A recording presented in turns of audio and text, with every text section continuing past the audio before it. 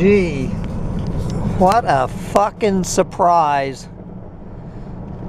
A cool, drizzly, gray, yuck Monday here in the end times. It is 66 degrees at 3 o'clock in the afternoon here on Monday, August 19th, 2024, I believe. 60 now it has dropped to 64 degrees.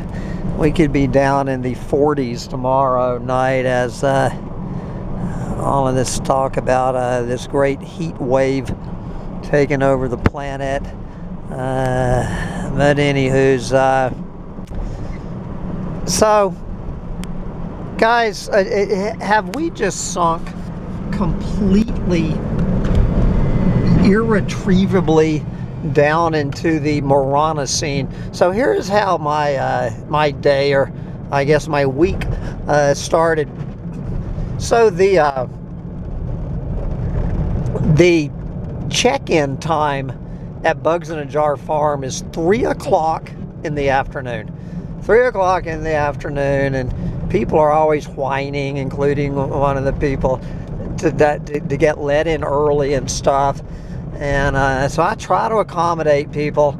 So, but but it, it, it's clear that the check-in time is three o'clock in the afternoon, and I also make it 100% clear that the absolute check-in time is 11 p.m. I spell it out. I do it numerically. Uh, I, I talk about, you know, I need my damn sleep. Don't be showing up here at midnight. I send these people this very nasty worded email. Don't you show up here past 11 p.m.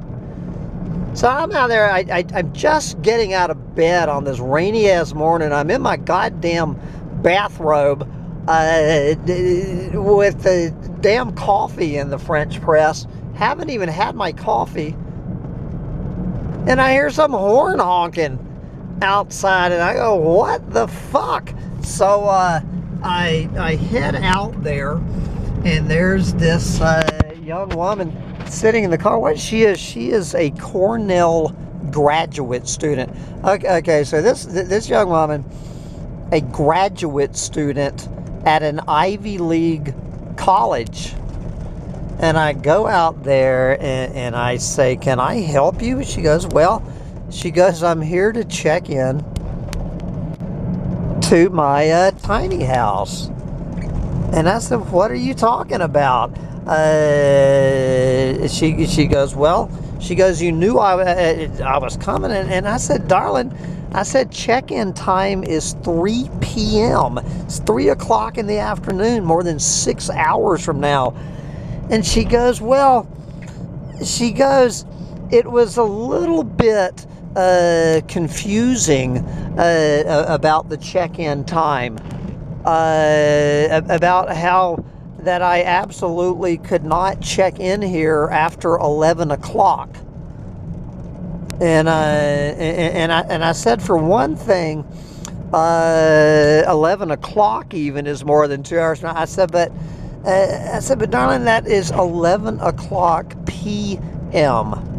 That you, the check-in hours are between 3 and 11. And uh, she just goes, oh, uh, 11 p.m. Now I get it. And I'm going, yeah and, and I say, give me a, give me an hour, and uh, you, you can check in. So uh, that's how I start my day. Then I go and I open up the mainstream media. I do not believe it. Do we have a ray of sunshine for the first time in like five days in the Finger Lakes of New York? So I go on the mainstream media and of course, I just ignore all of that clueless fucking moron shit about the uh, the Democratic uh, National Convention. Uh, good lord, I think the number one headline: five things to not miss at the Democratic convention this week. Yeah, uh huh. But the third biggest story, so I skipped over that. The third biggest story on the planet, not that it means anything to anyone who lives in the Finger Lakes of New York. The title was How to See Tonight's Supermoon. How to See Tonight's Supermoon, colon, where and when to look at the moon. And I'm thinking to myself, have we really reached this point that you have to go on the mainstream media to find out to how, where, and when to look at the fucking moon? Long article how to look at the moon, where to look at the moon. You know, the the sky uh, would be my uh, would be my first choice, but uh, I, I don't know. Maybe some people, maybe they look in their closet for the moon. Uh, you know, what what are the fucking choices to look for the fucking moon? When to look for the full moon? when to look for the full moon. Uh, well, I mean, I, I, I admit, I you know, I'm almost 65 years old, and I've been to college, so maybe this was uh, for Cornell graduate students to explain. You look for for the fucking moon in the nighttime.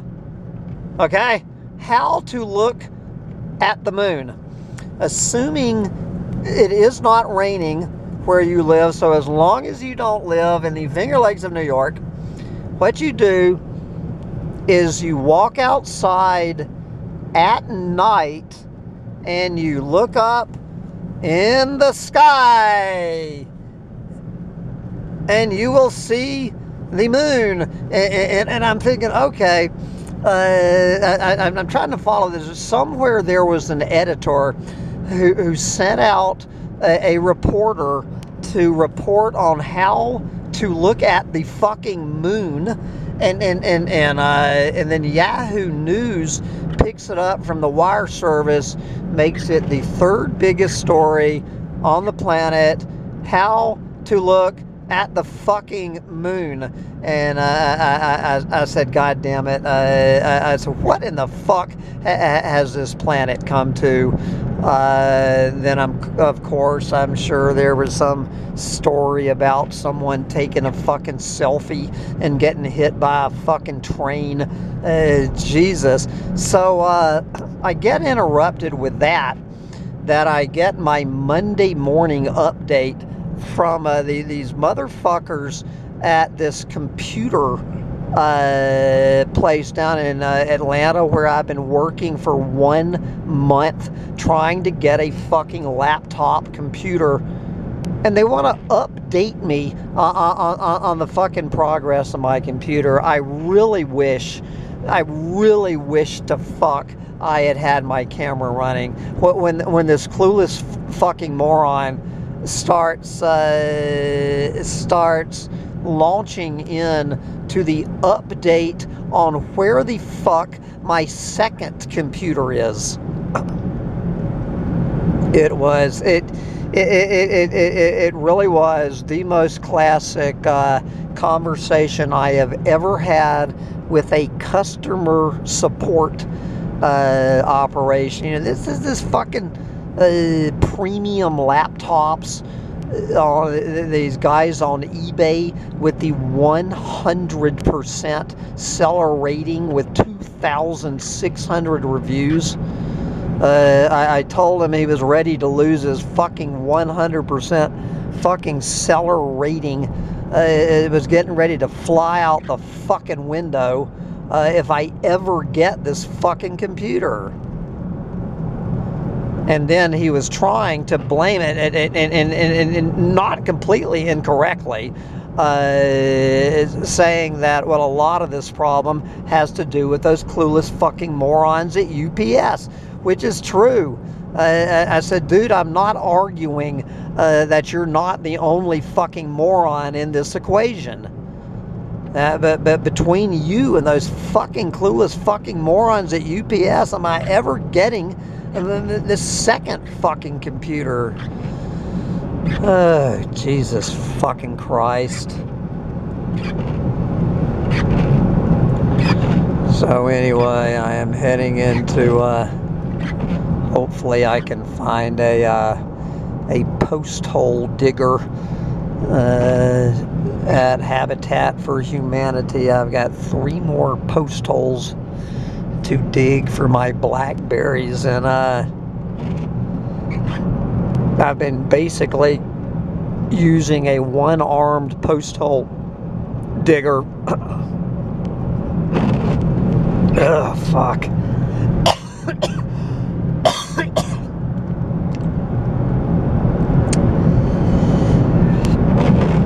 anyway, what is going to be my next adventure in the Moronocene? I can only imagine how long I need to wait before I encounter the fourth moron of the fucking day. There is plenty of time still left in this day, even without uh, turning on the convention for a convention of clueless fucking morons. But I do want to give credit where credit is due, and I do want to, seriously, uh, three cheers for Planned Parenthood handing out free IUDs and vasectomies outside of the Democratic National Convention. So uh, I guess we'll have fewer limp dick lefties to vote for little clueless fucking greenies in the future. Thank you, Planned Parenthood, for uh, handing out free vasectomies and IUDs to uh, try to stem the rising tide of fucking morons on this planet. Uh, fuck. Alright. I'm back to look for my PhD, otherwise known as my post hole digger. I can tell people I have a PhD in post hole digging. Bye, guys.